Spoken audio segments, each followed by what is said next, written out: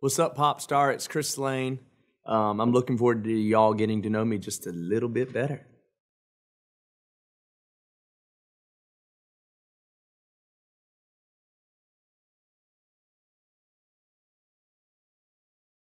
Yeah, so I grew up with, with an identical twin brother, um, playing football, baseball, basketball in in those seasons, and you know, as a kid, my my true dream, I guess you could say, I, as much as I loved football, I was always pretty small, so I didn't really have a career at that.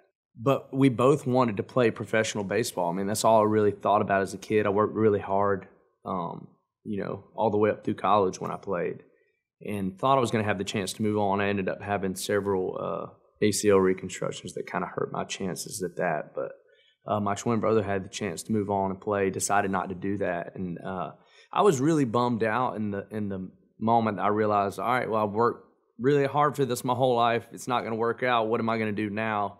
Um, kind of thing. But uh, everything has worked out great, man. I'm so happy and blessed to where I am right now.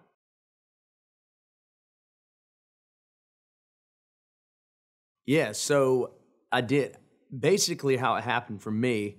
Um, when I moved back home after college, my brother and I both started helping my dad with his landscaping business. I got really good at striping yards and, and weed eating and stuff like that. But I started learning how to play the guitar, you know, in the downtime for my surgeries. Um, and then when I moved home, I had a lot more time to do that. And so I probably drove a lot of people crazy. I know I drove my parents crazy because right when I moved home, I was living at their house um, right out of college until I made enough money I could buy my own house. I think a year later, something like that.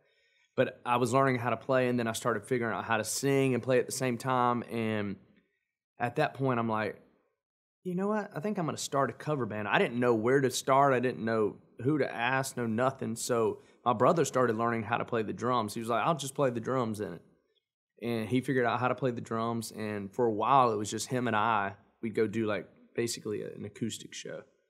And then I picked up players along the way.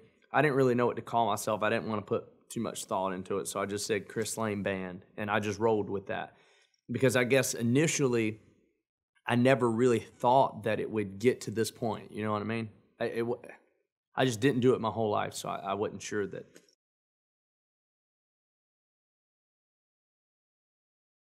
so that's kind of how that happened. And I was a cover band for uh, I want to say three or four years, um, and then had enough people come out to the shows to where I thought, you know what, I'm gonna try to write my own uh, music for the first time, and you know it, the songs didn't turn out that great, but you kind of start somewhere and learn from there.